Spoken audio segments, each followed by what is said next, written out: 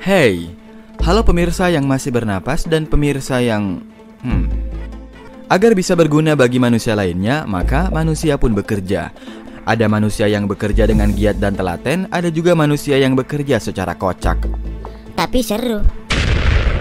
Seperti pria ini misalnya, dia mencoba memasukkan sampah ke tong sampah, tapi mungkin karena dia salah perhitungan, maka sekarang ya Oh, bagaimana caranya aku bisa keluar dari semua ketidakpastian ini? Woi, bantuin dong, pegel nih. Nah, selagi dia bergelut dengan gerobaknya, mari kita eh, putar dulu intronya. Away the morning, the things that you would miss, like laughter from the kitchen, or a memory like this. Dapurkan mesa seres, Dapurkan cinta. Aroma 100% coklat asli Mesa Ceres Tak ada yang menandingi pada renyahnya dan kelezatannya Yeh, bukannya dibantuin malah difoto-fotoin dan malah diketawain. Saat itu si Mamang pengen pulang kampung, eh pulang kota maksudnya. Dia pun naik perahu biar murah. Tidak lupa dia membawa beras dari kampung. Aduh, ini perahunya banyak goyang, udah kayak odong-odong aja lu. Eh, awas jatuh. Oh, nggak apa-apa aku terjatuh. Yang penting berasnya nggak jatuh. Kalau aku mah tahan banting. Dengan sedih dia pun mandi untuk menghilangkan sisa-sisa air asin di hidungnya. Wah, ini mobil kenapa bisa nyangkut di terowongan gini sih? Dan gimana caranya dia keluar sekarang? Maju kena, mundur kena. Eh, tapi mudah-mudahan ini bukan ulahnya Pak Sugeng ya. Iya, bukan. Sedikit Ji. Woi, tolongin dong. Gimana sih lu? Di lain gedung ada si Supri yang sedang memasang kaca jendela gedung. Lagi asik-asik masang kaca jendela, eh Pak Sugeng malah bersin. Nah, jatuh kan tuh kaca? Untung tak kena mobilku. Karena eh, itu mobilnya Pak Sugeng. Apa? Setelah menjatuhkan kaca, si Supri terpaksa dikeluarkan dari perusahaan. Waduh, sabar ya Sup. Semoga kamu bisa dapat jalan lain. Setelah lama berdiam diri di situ, akhirnya Dah lah, nggak ada yang bantuin juga. Aduh. Eh, berhenti ketawa lu.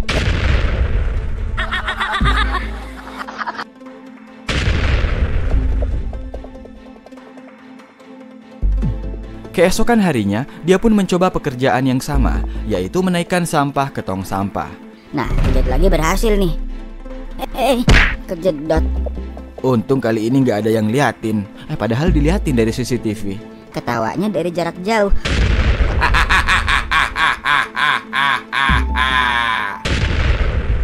Tapi untung ada yang nolongin. Aduh, nggak apa-apa kok. Aku kuat. Kalau begitu rasakan ini.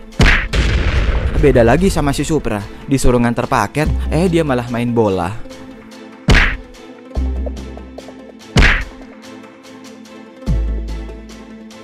Beda lagi sama Pak Ruslan, di mana Pak Ruslan sedang membawa membawa apa ini? Talang air. Hmm, walau hanya menggunakan sepeda, dia mampu membawanya bersama-sama. Eh, tapi kalau yang depan ngerem, yang di belakang juga ikutan ngerem ya. Ikuti aba-abanya.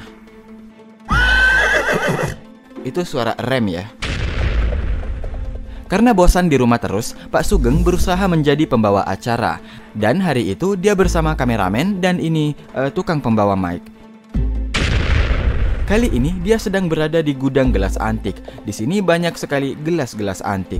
Eh, itu mic-nya jangan terlalu dekat dong, nanti kesenggol. Eh, tuh kan lo gue bilang juga apa? Eh, awas pak, awas pak. Aduh, itu bom mic-nya nyangkut di kipas angin lagi. Buruan ditarik. Iya, kenapa ditarik? Kan lu yang bilang ditarik gimana sih lu? Setelah kejadian itu, Pak Sugeng jadi trauma keluar rumah selama beberapa jam. Keesokan harinya, eh dia malah mengantar barang lagi menggunakan mobil truknya. Waduh, tapi tidak begitu caranya menurunkan barang secara sopan, Pak. Kocak. Sementara itu, si Supri bertugas memasukkan barang ke mobil truk. Woi, woi, gue belum turun, Pak. Ah, itu bukan urusan saya. Urusan saya hanyalah menyetir mobil ini. Hmm, untung si Supri orangnya sabar, sehingga dia tidak marah. Cuma sedikit ngamuk. Yeh, siapa yang nggak ngamuk kalau ikutan terkirim di dalam paket? Sementara itu, Pak Sugeng beralih profesi menjadi supir mobil sampah. Tugasnya yaitu cuma memasukkan sampah ke dalam mobil. Hah, gini doang sih gampang. Begini caranya.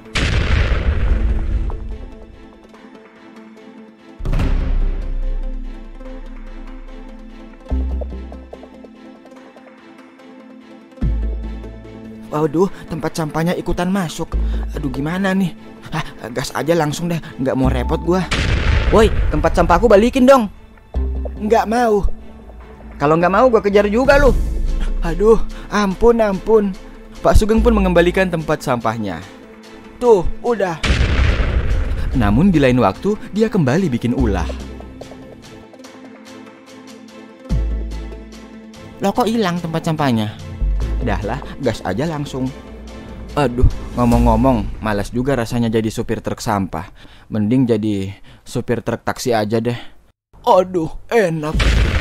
Sementara itu, si Supra malah hobi memahat es membentuk peta Texas. Wah, ini nih baru namanya seni. Eh, jatuh. Hah, sia-sia deh pengorbananku selama ini. Udahlah, jadiin es serut aja deh. Oh, sikat, sikat, sikat. Sikat, sikat, sikat. Mau beli berapa, dek? Oh iya, tolong itu ambilkan dong gelas es serutnya yang ada di atas rak.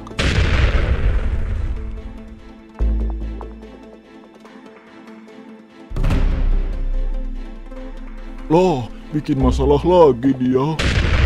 Setelah melakukan penggalian tanah, para pekerja-pekerja ini pun dinaikkan menggunakan mobil sendok. Oke, sedikit lagi kalian akan sampai. Eh tapi bohong, balikin lagi ah.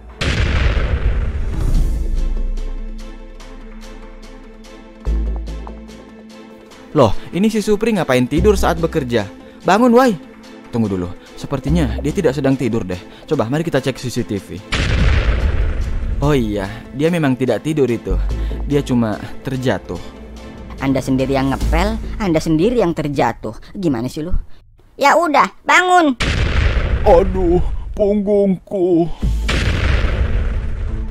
Wah, ini nih Supri idaman eh Supri. Wah, ini nih istri idaman. Nah, selagi suaminya pergi kerja, istrinya si Supri ingin membuatkan kue untuknya. Heh, begini caranya membuat kue yang enak.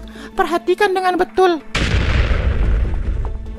Pertama-tama adonannya kita pencet-pencet, terus kita gulung pakai penggulung. Aduh, aduh.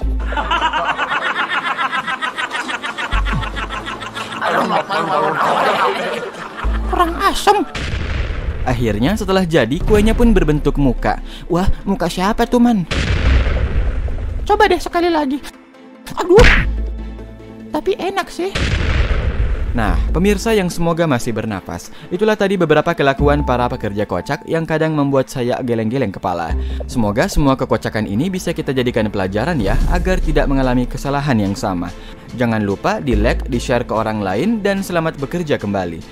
Hei, ada yang mau kue? Saya mau satu. Saya juga mau satu. Lah, kamu kan sudah makan tiga porsi kulit kerang goreng. Oh, kulit kerang goreng.